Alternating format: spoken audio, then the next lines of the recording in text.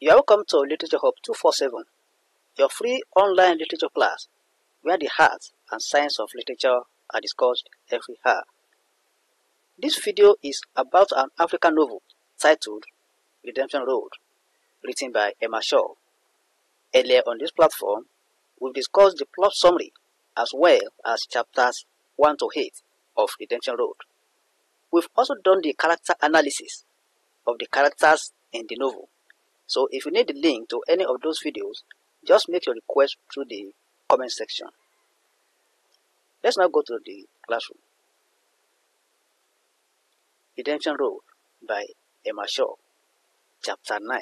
So we have chapters 9 and 10 here. But I want us to understand that the fear of Commander Cobra is the beginning of wisdom for Bendu Lewis. Since the time she saw Commander Cobra, she has been having a sort of fears and she has been now having uh, nightmares. And the nightmare continues here.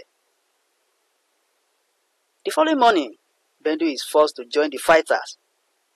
Commander Cobra smokes marijuana while cleaning his gun. Some young fighters are attracted to his tent by the scent of the smoke.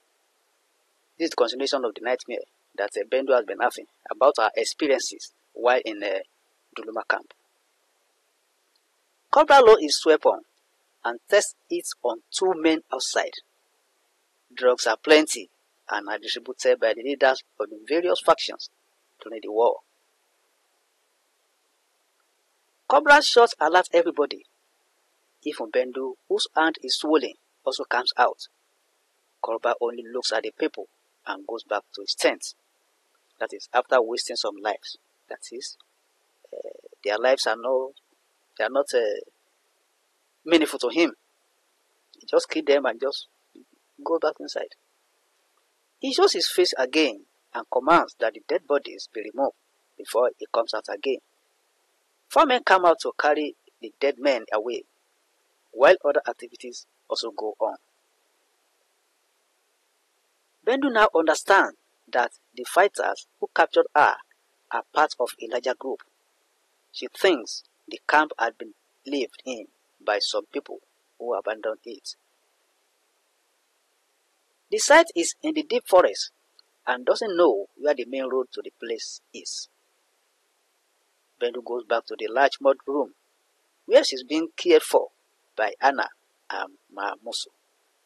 Mahamusu is an old woman of 54 years who is loved by everyone because of her kindness. The woman doesn't like how Cobra killed the men. Bendu asks her why he killed them. Mahamusu explains that that's how he behaves. He will strike anyone. She adds that Cobra is one of the most disciplined leaders. The people are scared of him and respect him. Only Bendu and Mahamusu are inside. Others have gone for exercise and drills. Mahamusu rubs a green paste on Bendu's arm and massages it for her. As Bendu yells in pain, the woman blames the boy that wounded Bendu. The pain soon relieves her. That is Solomon. It's Solomon that wounded her. Mahamusu tells Bendu not to be scared by Cobra. Mahamusu tells Bendu not to be scared by Cobra. She says, he is a good man, but turns into a different person when he smokes. He loses his memory during this period. She has that what makes people crazy. That is, somebody that is good can be burned and can become very wicked during war.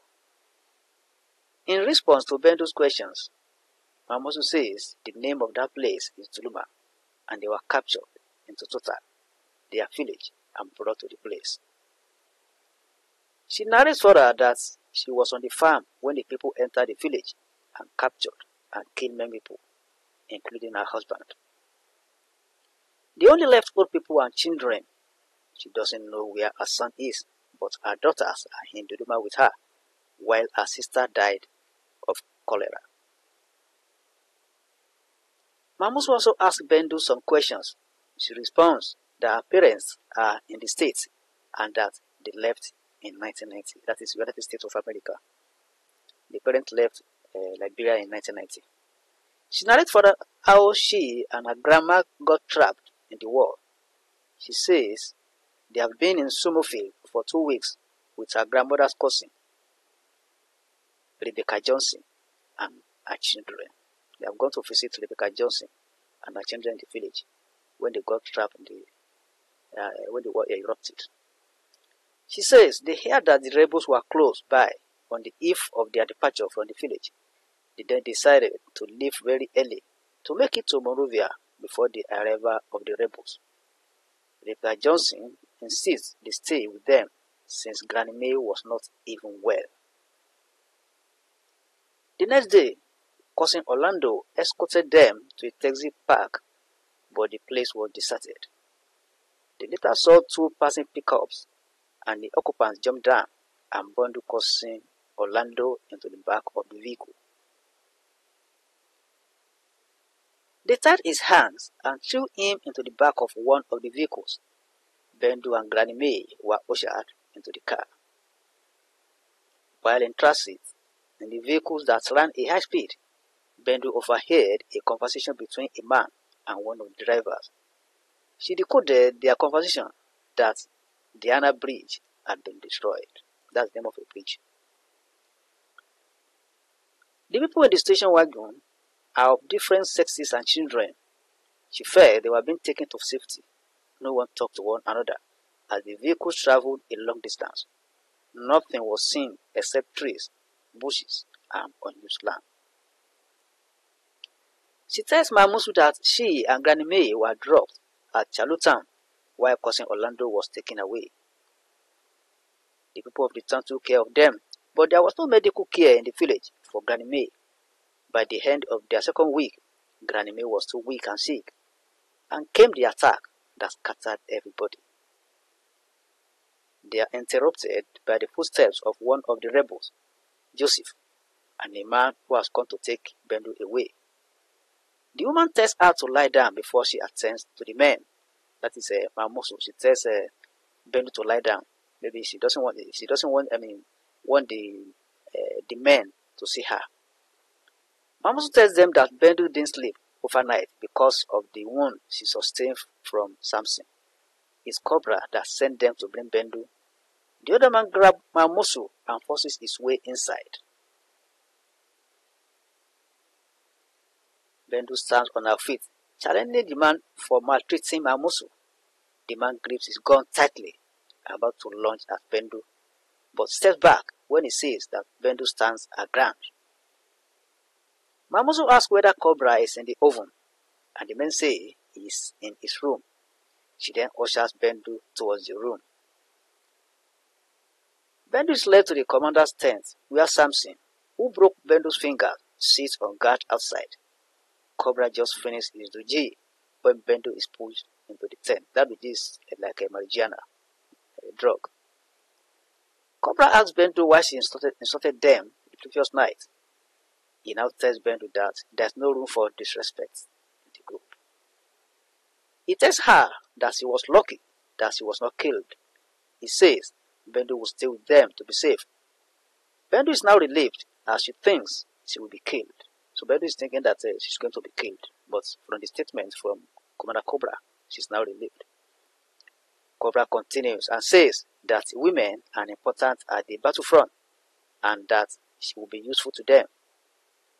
He then calls Samson and hands her over to him as his wife. Samson is happy, while Bendu, who is surprised, is speechless. Samson threatens to kill Bendu if he gives her any problem with a knife placed on her throat. She placed a, a knife on Bendu's throat and telling her that uh, she's going to kill her if she disturbs, she disturbs him. He leads her through the camp at knife point while the people watch. Despite this, Bendu screams, calling for help, but nobody dares say anything. When they enter Samson's hut, Bendu is pulled onto his mattress and starts raping her. She's just praying silently for deliverance. Bendu sees Samson's knife glittering into her eyes, but she doesn't have the mind to kill anybody now. As Samson continues to hit her hard on the bed, Bendu suddenly becomes hysterical.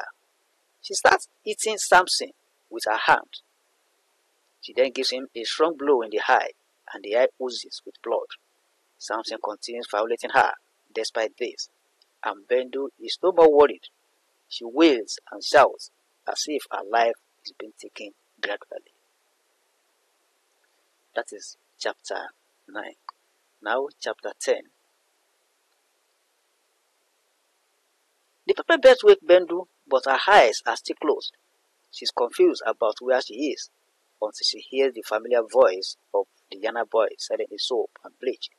Her mind is now at rest that she's in Monrovia and not Duluma. Remember, she's uh, she's having a nightmare. Later in the morning, Bendu goes to a nearby supermarket. She hears another familiar voice again calling her name. Miss Lewis. She freezes as the voice is much closer to her. She turns to the direction of the caller and she sees Cobra crossing the street towards her direction. Bendu doesn't know what to do. She tries to step back as Cobra comes closer. Cobra keeps on closing on her as he steps back. Bendu's heart is beating fast. Bendu's heart is beating fast. Cobra smiles, revealing his teeth. He calls Bendu the pseudonym they call her during the war, Lieutenant TKO, to ascertain she's the one. Cobra is trying to ascertain that uh, it's Bendu that is uh, in front of him. So she called her that uh, name. They, they gave her during the when she was uh, uh, Duluma, Lieutenant TK Ho. Before Bendu can respond, Cobra hugs her as if they are friends, and Bendu is surprised. He asks about her welfare, and Bendu replies with a shaking voice that she is fine. Cobra invites her for a drink in return. Bendu is about to turn down the request, but has a think and asks him where to find him. Cobra replies that he is at El Messin on Carey Street he writes his room and phone number on a slip of paper and gives it to her. Bendu quietly tells Cobra not to call her by the war name Lieutenant TKO again. Cobra responds that it's good to forget and put all those things behind, but says he will never forget Samson's eye after she punched him that day. That is where the name TKO, Technical Knockout, comes out. That's the full meaning of TKO given to Bendu because of the knockout she gave to Samson at the uh, Duluma camp. Cobra then asked whether Bendu is still a miss or Mrs. Bendu doesn't have any option but to answer him that she is Miss Lewis. Cobra says he's surprised that Bendu is still not married. He says they will have talked more, but has some business to take care of. He then tells her that his name now is Moses Vanning she should just ask for V. Bendu holds the slip of paper he gave her and watches him going until he's out of her sight. That is chapters 9 and 10 of Redemption Road. Please, if you are just joining this channel, just click on the subscribe button and the bell icon so that you'll be part of this class and whenever we release any video, you are going to be notified. Like this video you are free to share it on any social media platform. Invite your friends to join us. Please, teachers in the house, do not hesitate to introduce your uh, student to this platform so that they also benefit from it and it will even ease your own, uh, it, it will ease your interaction with the students in the class.